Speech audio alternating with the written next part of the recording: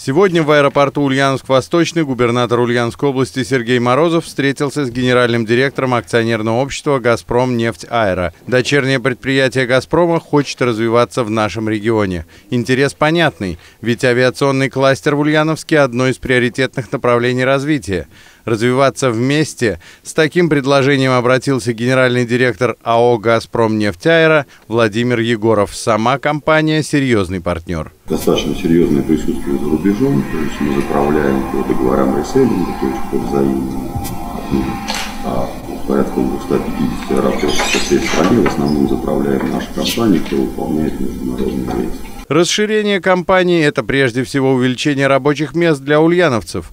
Условия, по которым «Газпром нефть Аэро» работает с персоналом, впечатляют. Для каждого сотрудника страхование жизни, курсы повышения квалификации, стажировка. Кстати, сотрудников набирают ульяновских. Лучшие выпускники УИГА гарантированно трудоустраиваются. Этому способствует соглашение между организацией и вузом. Развитие бизнеса – вещь понятная, но что это даст региону?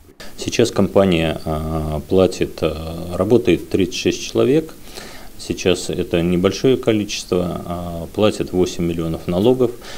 После того, как будут осуществляться планы по развитию, мы получим большее количество налогов, которые мы тратим на территории региона для наших людей, ну и большее количество рабочих мест. Наш филиал – своего рода центр, который будет курировать Мордовию. Сергей Морозов планы поддержал взаимовыгодному сотрудничеству быть. Павел Половов, Александр Кудряшов. Новости Ульяновской правды.